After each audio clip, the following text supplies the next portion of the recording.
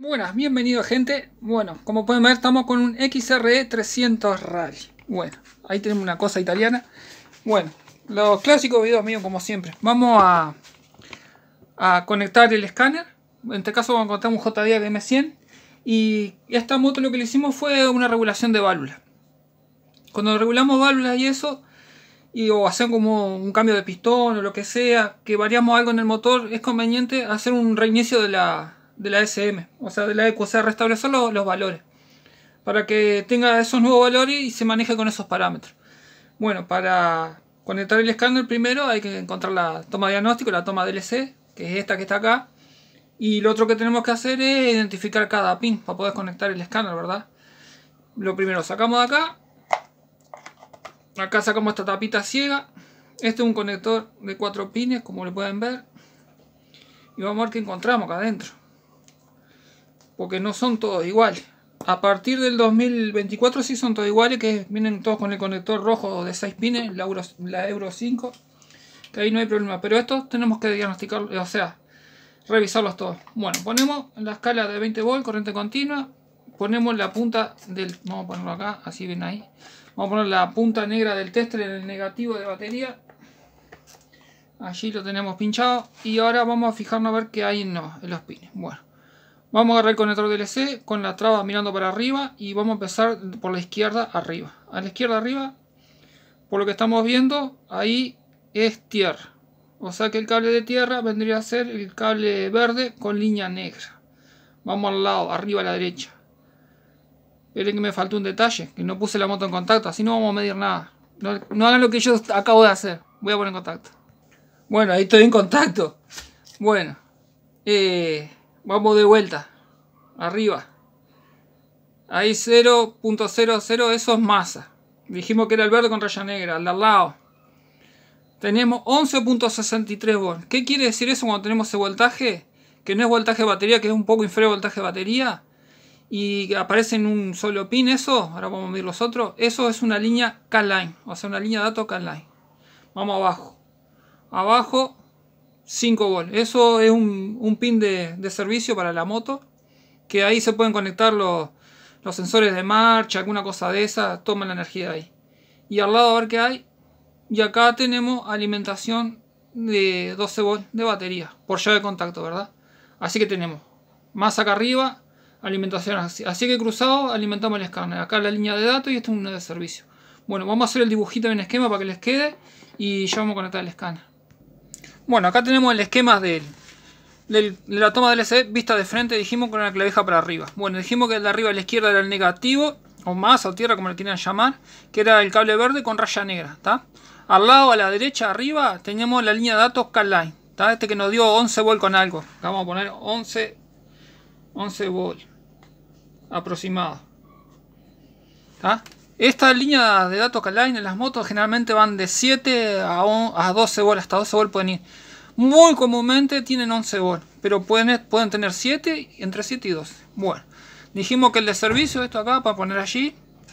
Bueno, dijimos que este es el de servicio, que este va sin conexión, que este servicio puede ser utilizado para conectar algún algún accesorio a la moto, como puede ser un, indicador de marcha, alguna historia esa, se conecta allí y va a funcionar. Porque acá tiene la alimentación y tiene los, datos para que se maneje. Bueno, dijimos que ese es cable celeste. El de datos dijimos que era amarillo y todo eso. Bueno, y acá el positivo, que este positivo viene de batería por llave de contacto, que es un cable negro con raya marrón. Bueno, en caso de no tener el conector DLC que va acá, o no tener ni siquiera el multipunta, como lo vamos a conectar yo lo voy a conectar con el multipunta y también lo vamos a conectar con un solo cable. No tiene nada de eso directamente la toma OBD2 o puede ser un una un OBD-Link o algo de eso y ustedes no saben cómo se conecta ahí bueno. En el OBD2 que las conexiones universales son en todos iguales el positivo de alimentación va a ser el pin 16 de la toma OBD2 el negativo de alimentación de ese de lo que le pongan allí, cualquier interfaz que le pongan allí, va a ser el pin 4. El 4 es masa chasis. También puede ser el pin 5, pero el pin 5 es masa de EQ. Eh, a mí me gusta más usar el pin 4. O pueden usar los dos simultáneos, pueden enchufar las dos masas y de ahí a unirlo a un cable y ese cable pasarlo a la alimentación del escáner o lo que les vayan a poner ahí. A mí me gusta usar el 4, que es más allá. Y bueno. Y el K-Line, la línea de datos, va al pin 7. Así que lo que vamos a usar es la alimentación, que podemos alimentarlo directo de la batería de la moto. Y después conectar el cable de datos a la toma DLC. Otra cosa, siempre que alimenten el, el escáner o lo que sea, siempre usen la batería de la propia moto. No usen una batería externa porque no le va a andar, no va a servir. Porque toma referencia de la energía de la batería, o sea, lo que cierra toda la línea de datos y todo es la propia batería allí, con, la, con las conexiones. Bueno, vamos a enchufar el escáner a ver qué nos dice eso. Bueno, acá tenemos el conector multipunta del escáner y así que vamos a usar tres cables. los dos de alimentación, positivo y negativo, y la línea de datos. Bueno, vamos ahí. Dijimos que mirando así para arriba, el positivo era el de abajo a la derecha. Ponemos el positivo acá dijimos que el negativo era el de izquierda arriba. Estoy jugando a memoria, ¿eh? Está, el emboqué. Ahí está energizado el escáner. Y el de datos era el de arriba a la derecha. O sea, nuestro cable CAN-Line... Opa, no estaba enfocando. Va acá. Bueno.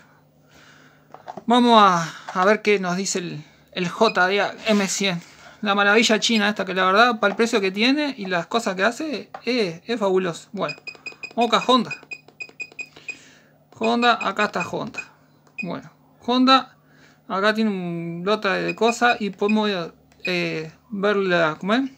Consultar directamente si hay fallo, bueno, todas esas cosas. Acá la SM lo que yo le decía, acá es donde vamos a reiniciarla. Desde acá puede ser o entrando también al, al modelo de la moto. Bueno, vamos a ir a Autoscanner si ellos buscan el, ahí ya encontró PGM, vamos a entrar ahí que es la inyección que tiene esta moto. Bueno, a ver los datos que nos da hay datos de la, de la ECU, datos del motor. A ver, va a allí. Bueno, hay nueve páginas con todos esos renglones. Ahí nos marca todos los, los datos que nos dice. Bueno. Después acá, esto cuando detecta alguna falla, congela todos los datos que estaba leyendo en ese momento. Acá a ver si el código es fallo. Datos actuales, está sin código. A ver si hay alguno almacenado, tampoco hay. Y a ver para acá atrás. Acá es borrar los códigos. No vale que sí, no va a borrar nada porque no tiene ningún código, pero igual lo hace el procedimiento. Y acá configuración, acá es reiniciar la, la, la. Bueno, para reiniciarla vamos a darle acá. A ver qué nos dice. Algunos vehículos después de, de reiniciar la SM se pone a cero. Puede ser necesario inicializar el SM eh, o sea, aprendizaje, no sé, más o menos ahí lo, van a entender, porque estas traducciones de los chinos a español puede decir cualquier cosa. Bueno, vamos a darle que sí, que queremos hacer el procedimiento de reiniciar la SM. Le damos que sí. Y ahí dice, para establecer completamente, girar el interruptor de encendido, ida y vuelta, encender antes de 10 segundos. ¿Qué pasa? Que si yo saco contacto de allá arriba, me voy a quedar sin energía acá en la toma del EC y se me va a apagar el scan y no voy a poder reiniciar la SM. Entonces el escáner, el escáner lo voy a tener que alimentar exteriormente. Eso tengo que hacer, tengo que enchufar la alimentación del escáner, este positivo y negativo, y ponerlo directo a la batería. Yo ya tengo un aparatito, un aparatito que viene, viene con el, a veces viene con el escáner, a veces no. Que lo alimentamos por acá con unas pincitas a la batería. Porque si yo saco contacto va a ver que se apaga el escáner. ahí yo saco y ve que se apaga. Entonces no puedo hacer el procedimiento. Entonces vamos a hacer eso. Vamos a alimentarlo exteriormente al escáner. Bueno, acá en la toma del EC solo dejé la línea de datos K-Line y ahora voy a, meterle este, esta conexión con esa pincita que va derecho a la batería. Entonces agarro el escáner y acá donde tiene esta alimentación conectamos acá y a la batería. Ponemos acá y a la batería. Así podemos hacer el procedimiento que nos, que nos pide el, el escáner. Bueno. Bueno, ahí se nos, energizó el, escáner. Voy a poner contacto. Una moto. Acá que estoy medio enredado con los cables. Bueno. Acá que prendí. Ah, prendí las luces acá. Bueno. Hay que se vea. Diagnosis.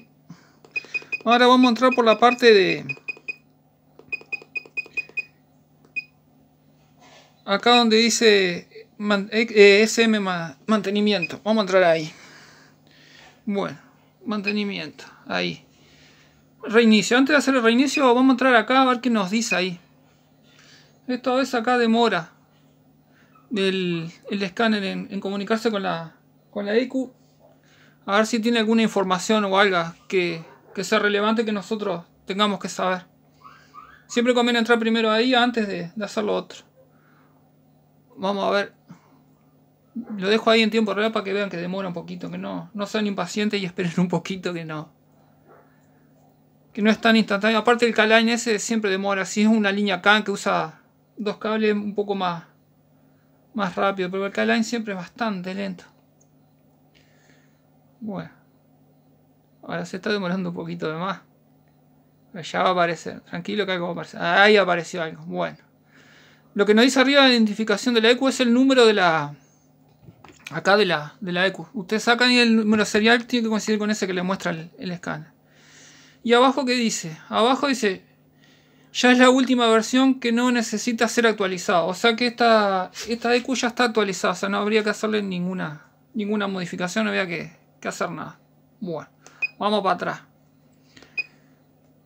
Reinicio. Vamos a reiniciarla. Bueno, ahí ya lo leímos hoy, ya vimos eso. Bueno, y dice que sacamos y pongamos contacto antes de los 10 segundos. Bueno, vamos a sacar contacto. Y va a ver que el escáner no se va a apagar porque ahora está alimentado directo la batería. Saco contacto.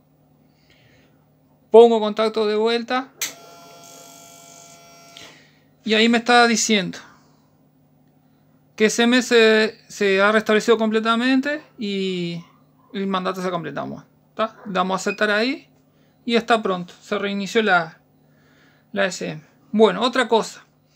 Este mismo procedimiento también funciona para con las Hondas que traen sistema ABS. La 190, la 300 también que traen ABS. Para borrar los, códigos de falla del ABS también hay que hacer el mismo procedimiento. Hay que alimentar el escáner exteriormente. conectarse con el cable de datos allí de la toma del SD y ahí se pueden borrar. Lo que voy a hacer ahora es mostrarles es cómo conectarse si ni siquiera tienen el cable este, el multipunta o sea, con, solamente con el OBD. Bueno, vamos, a hacer eso. Desconecto acá y ya les muestro eso. Bueno, supongamos que solo tiene el OBD2 o tienen una interfaz que es solo esto, ¿está? Y no tienen el cable DLC, no tienen absolutamente nada. Bueno, dijimos que el pin 16 es la alimentación positiva y el pin 4 o 5 es la masa. Ustedes eh, alimentan de acá 4 y 5, ponen a negativo y el 16 a positivo batería, ¿está? Y en el pin 7, que es el de datos, pinchamos el cable acá. Si se fijan, están numerados. Si lo logramos enfocar, están numerados. ¿Ven allí los números? Están identificados. El 7, acá, que es nuestra línea de datos, ahí vamos a conectar ahí. 7. Si logro enchufarlo, ahí. Opa. Ahí, ahí creo que lo enchufé. Bueno, y de acá nos vamos a la toma DLC que dijimos que era arriba a la derecha. Nos conectamos acá. Ahí nos conectamos. Con un solo cable. Bueno, y ahora vamos al, escáner. Vamos a salir de acá. Y vamos a la parte de, de motor. A ver si, si está leyendo así.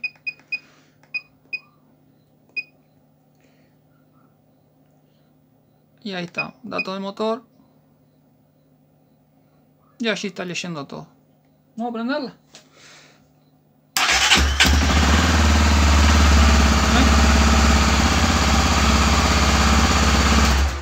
Bueno gente, ahí vieron que prendí todo, después reiniciar la, la CM, vimos que maneja todos los datos, cómo conectarse, cómo borrar. Bueno, espero que el video les sea útil, les pueda ayudar.